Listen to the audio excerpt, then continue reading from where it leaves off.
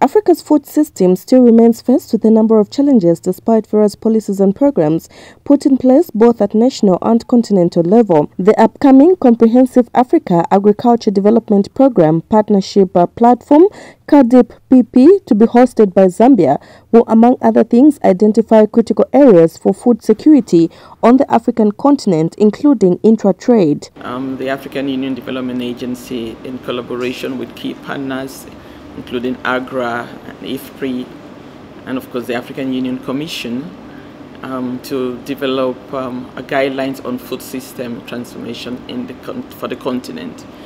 Um, this guideline is um, a document intended to support our member states as they implement their national food system pathways that were designed in the, uh, as part of the UN Food System Summit moment in that document is that mapping uh, exercise that's on food systems that will leverage uh, the, the assessments that the country will be happening.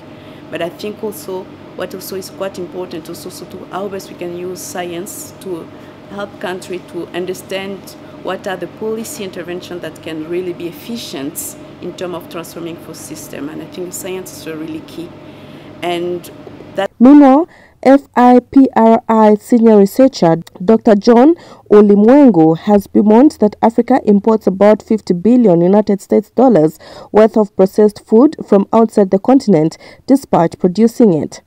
What the continent is spending on food import, uh, it's more or less 50 billion dollar every year uh, as a continent. And if nothing is done, that will balloon to more than 100 billion dollar by by 2030 or 2035 and the reason is that most of the processed food consumed within the continent in between 70 to 8 percent is produced outside the continent so one of the opportunities that lies for Africa in, in food systems transformation is creating a space and a place for the youth to begin to join into the smallholder farmer population, but even also in agribusiness, in uh, small and medium-sized enterprises. The conference will see experts from around the continent zero in on how best the food transformation system on the African continent can be achieved in the remaining two years of the implementation of the CAADP.